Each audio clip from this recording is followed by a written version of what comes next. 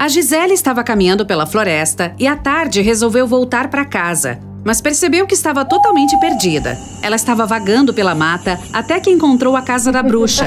Depois de fazer um carinho no gato preto, pediu que a mulher a levasse para casa. A feiticeira topou, mas primeiro precisava da ajuda de Gisele. Ela havia criado vários portais para lugares diferentes, pois havia algumas coisas que precisava fazer neles. Mas estava velha e cansada demais para viajar. Então, queria que a Gisele fizesse isso. E a jovem não teve outra alternativa senão aceitar. Agora quer muito a sua ajuda. Então, vamos lá. Assim que a garota passa pelo portal, se vê no Antigo Egito, onde deve achar uma taça mágica dentro da caverna onde está o tesouro do faraó. Mas primeiro precisa entrar lá. Para isso, é necessário destravar a porta. Uh -oh. Observe os hieróglifos e encontre o que não deveria estar aí.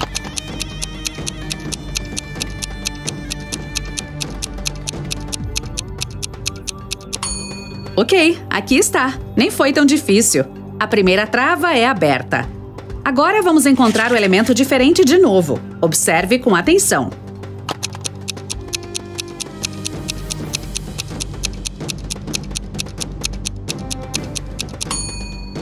Isso! É este mesmo! Parabéns! Já se foram duas de cinco tarefas.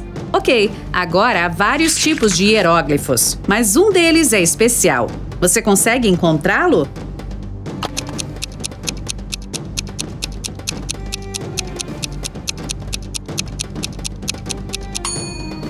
Veja, está aqui.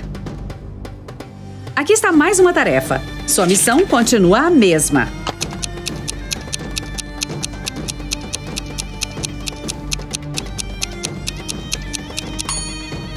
É este aqui. Falta só um para abrir a porta. Tente prestar bastante atenção.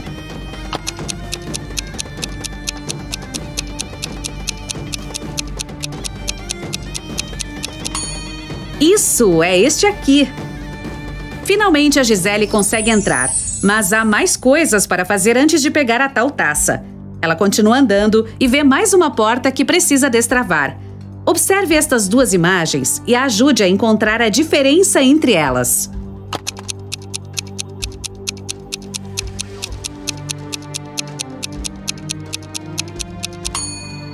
Veja, está bem aqui. Aqui está a segunda imagem. Agora, há duas diferenças. Tente encontrá-las.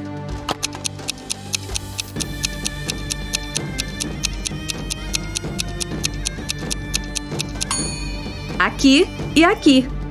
Ok, é a última para esta porta. Há três diferenças e a Gisele deve encontrar todas. Ela precisa da sua ajuda. O que me diz?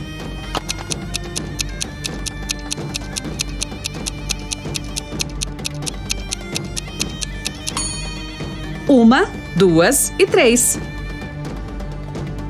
A porta se move lentamente para o lado e a Gisele se depara com um corredor estreito. Por sorte, só tem uma saída. Então, ela sabe para onde deve ir. Após um tempo, se depara com mais uma porta fechada. Há quatro estátuas ao lado dela: de um gato, de uma esfinge, de Horus e de Anubis. Para abrir a porta, a jovem deve colocá-los na ordem correta. Ainda bem que há uma pista.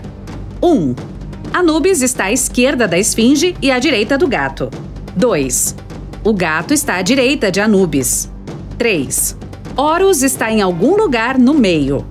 Ajude a Gisele nessa tarefa.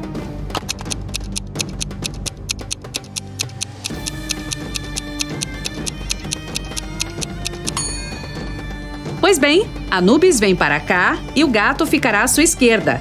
A esfinge deve ficar em algum lugar da direita para que o gato e Anubis fiquem à esquerda dela. Mas tem também Horus. Ele deve ficar no meio. Então vamos colocá-lo entre a esfinge e Anubis. E a ordem correta é gato, Anubis, Horus e esfinge. A porta se abre e a Gisele entra em uma sala grande, iluminada por várias tochas. Há muito ouro ali, mas ela só precisa da taça que a bruxa falou. No canto tem um baú, a garota o abre e encontra duas taças ali. Uma é a verdadeira taça mágica egípcia, mas a outra é falsa, criada no futuro. Você consegue identificar qual é a original?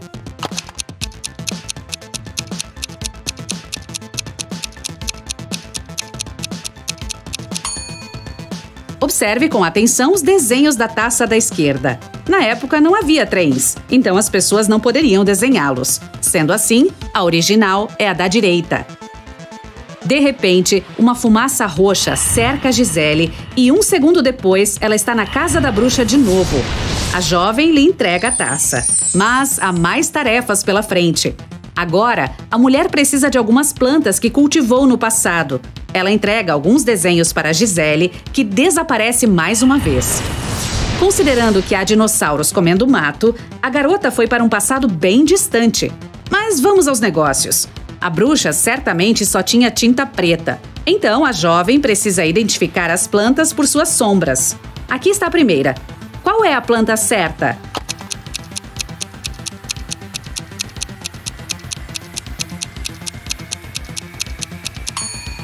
Sim, aqui está ela. Esta é a próxima. Você consegue encontrá-la?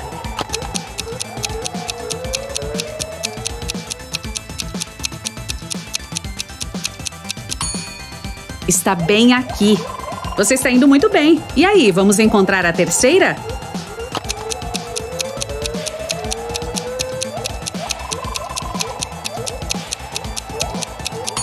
Bem mais difícil, né?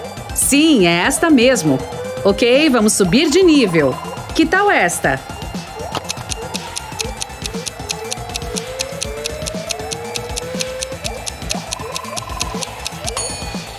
Aqui está ela. Falta só mais uma e a Gisele vai. Ah, não! O desenho sumiu! Um animal super veloz o tirou das mãos dela. Ela precisa segui-lo. Você sabe dizer para que lado a criatura foi?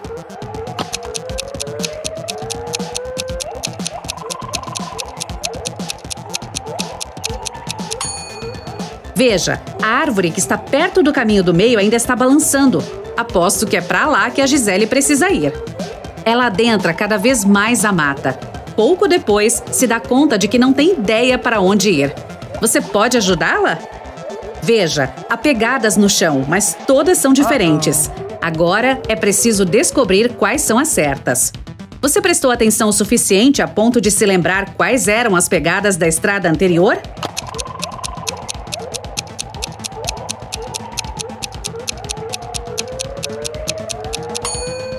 Sim, são estas mesmo. Então a Gisele deve virar à direita. E aqui está ele. Ainda bem que este dinossauro não é muito grande. E por sorte, não se alimenta de pessoas. A Gisele precisa pegar o pedaço de papel de novo. Mas o dinossauro quer algo em troca. O que ela pode oferecer para o bicho?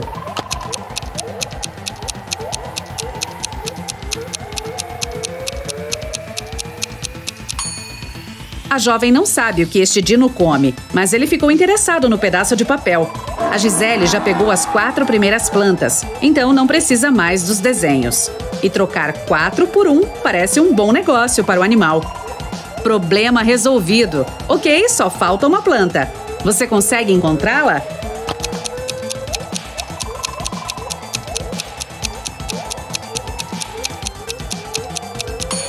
Isso, ela está bem aqui. Bom trabalho! A nuvem roxa cerca Gisele de novo e ela volta para a casa da bruxa. A garota precisa fazer mais duas viagens. O próximo artefato é Amaral. Trata-se de um metal precioso que será descoberto em 2157. Então, sim, a Gisele está partindo para o futuro ela nem precisará roubar o metal, basta ganhá-lo. No ano de 2172, existe um famoso jogo cerebral. A garota pode entrar, pagar e participar da competição. Se vencer, receberá seu dinheiro de volta e o pedacinho de amaral. Mas primeiro precisa arranjar uma grana. Tem que ser uma moeda de 100 dólares. Olhe ao redor. Talvez tenha alguma moeda escondida em algum lugar.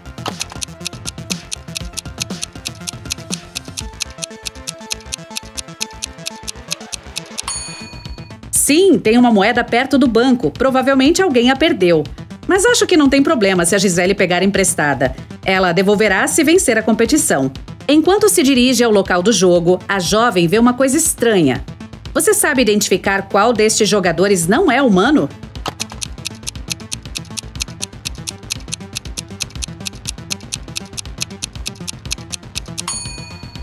É o terceiro. Veja, ele tem pernas esverdeadas, enquanto os outros dois estão usando botas. Então, a Gisele insere a moeda e o jogo começa. Uau, ela teve sorte! A primeira tarefa é baseada na cultura pop do começo do século 21. A garota precisa adivinhar os filmes por meio de emojis. Aqui está o primeiro. Qual é o filme?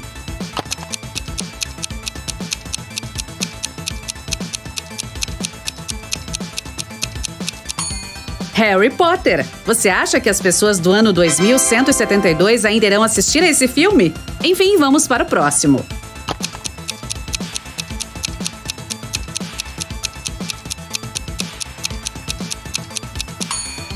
Ok, é Piratas do Caribe.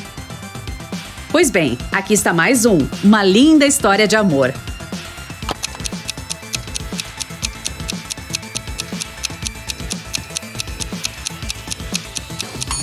Claro, é Diário de uma Paixão. Vamos continuar. Carros, robôs.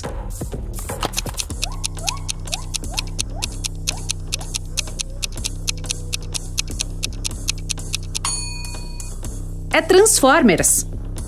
Que tal alguns seriados?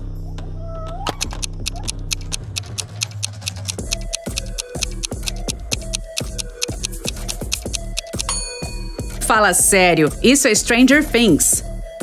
Agora o último.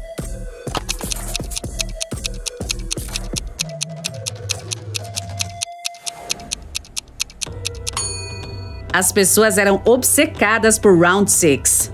E não é que a Gisele acertou seis das seis perguntas? Parabéns! Agora chegou a hora de fazer alguns cálculos. Aqui está uma equação. 101 menos 102 é igual a 1. Mude apenas um dígito de lugar para tornar a equação verdadeira.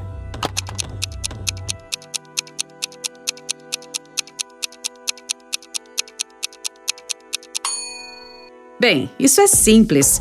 A Gisele só precisa movimentar o 2 um pouquinho para cima para transformar o 102 em um 10 ao quadrado.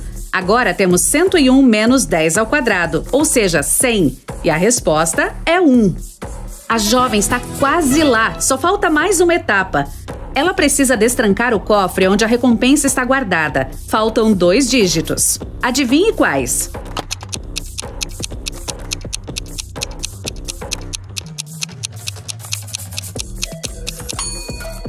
Veja, temos uma sequência 27 e 37. E logo abaixo temos 57 e 67. Então, os dígitos que faltam só podem ser o 1 e o 4. Neste caso, o código consiste em números de dois dígitos que terminam em 7, em ordem crescente. É isso aí! A Gisele pega o Amaral, devolve a moeda para o banco e some em uma fumaça roxa. A última tarefa da garota é visitar o inimigo da bruxa, o Drácula, e recuperar o colar de ouro dela. A mulher estala os dedos e segundos depois a Gisele está em um corredor escuro. Deve ser o castelo do Drácula. E sim, aí está ele. Bem, na verdade, há três Dráculas. Ajude a Gisele a descobrir qual deles é o verdadeiro.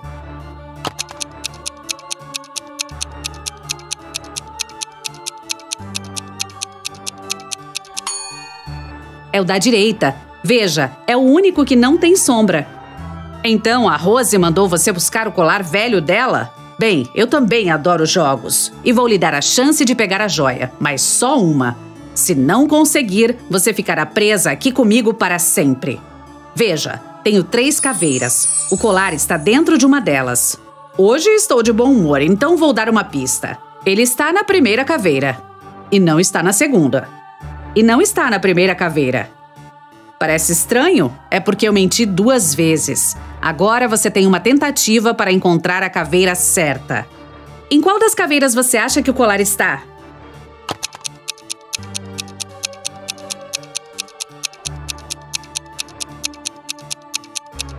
Se o colar estivesse na primeira caveira, teríamos duas verdades e uma mentira. Se estivesse na terceira, teríamos duas verdades também. E se estivesse na segunda, teríamos exatamente duas mentiras. Então, o colar deve estar lá. E a resposta está certa. O Drácula não ficou nem um pouco feliz, mas a Gisele desapareceu em seguida, cercada por uma fumaça roxa. Com todas as missões concluídas, finalmente pôde ir em paz para casa.